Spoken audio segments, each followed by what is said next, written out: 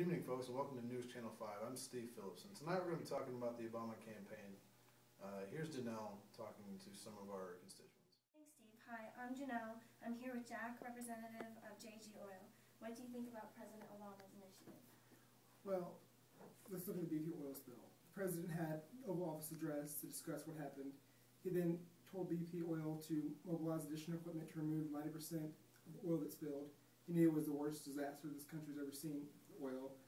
And he had an initiative to make sure this never happened again by using cleaner energy in the future. Thanks. Next question is for Sandy. What do you think about President Obama's public communication skills? I think he's so amazing. There's like this website called ObamaPublicSpeaking.com, and you can pay like thirty dollars for it, and you can be like talk like him. Like that's like the best thing ever. And he never like stutters or anything, and he's just so handsome and beautiful. And he reminds me of Morgan Freeman, Freeman when he speaks.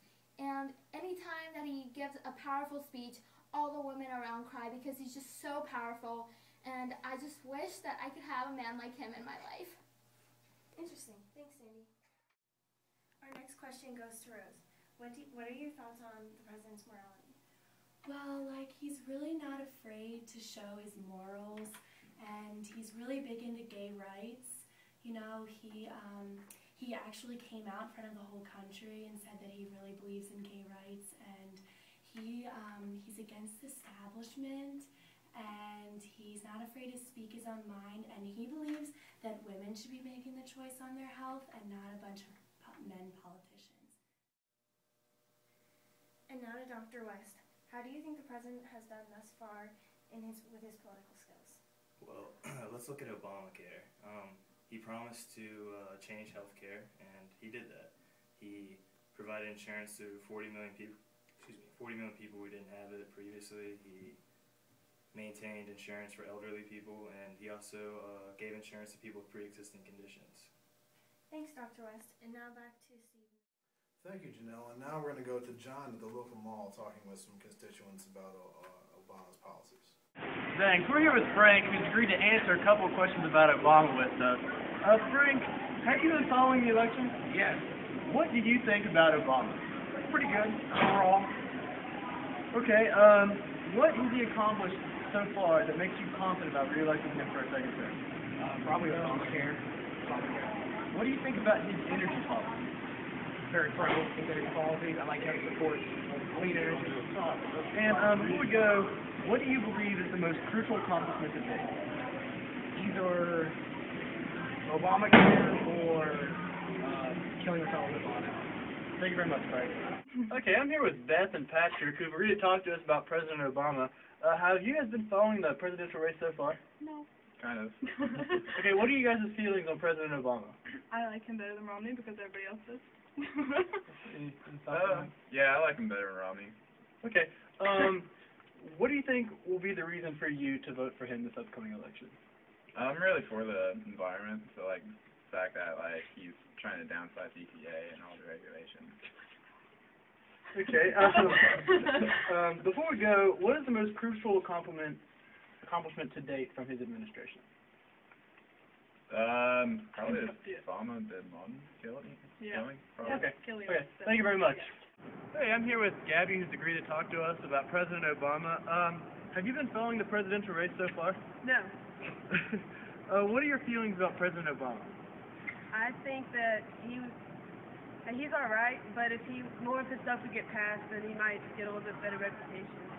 Okay. Um, what has he accomplished so far in his career that will make you vote for him next term? Think the only thing that I care about would be his like health care because that's the only thing that affects me. Okay. Um, what do you believe uh, the most uh, crucial accomplishment to date has been? Um, not, I I don't really know. Okay, that's fine. Thank you very much. Hey, I'm here with Tom today. Uh, Tom has agreed to talk to us about President Obama. Uh, have you been following the election?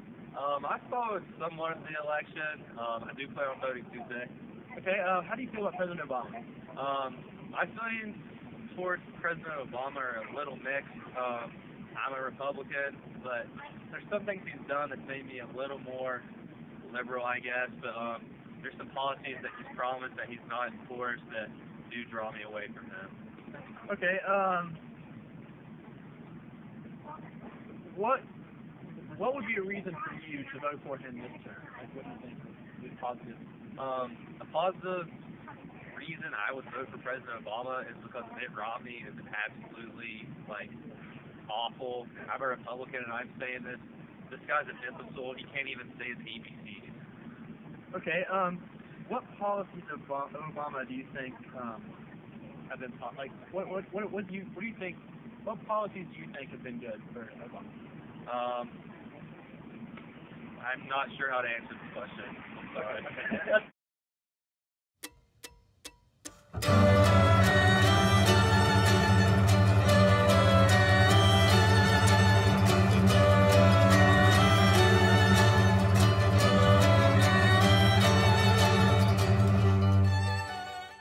And now we have a very special interview with, uh, with one of our sports correspondents for the National Sports Program, Don McFadden. Uh, Don, what do you think about the president's job creation over his past term? Well, first off, Steve, you got job creation right here. It's gonna break through the light. Obama's gonna put in 600,000 new jobs in energy. Now, Don, we know that President Obama has been very pro-education. Uh, how is it? What has he done in his term to benefit uh, students in this day and age? And now students and families right here, they're gonna come around, boom! They're gonna come right on up. Obama's giving them a $10,000 tax credit. All right, Don. Well, uh, we know that the war in the Middle East has been a huge priority in the president's campaign in the last four years. Uh, how do you think it's went? All right, let's talk about war. We've been in the Middle East since 2003. Iraq is now done, okay? Uh, 2010, Bin Laden's done. I remember the riots. Afghanistan, going down soon. 2014, we're going to be out of there. Thanks, Don. Now we've talked about the president's policies, but what about his family life? What uh, what's going on in the, in the Obama household today?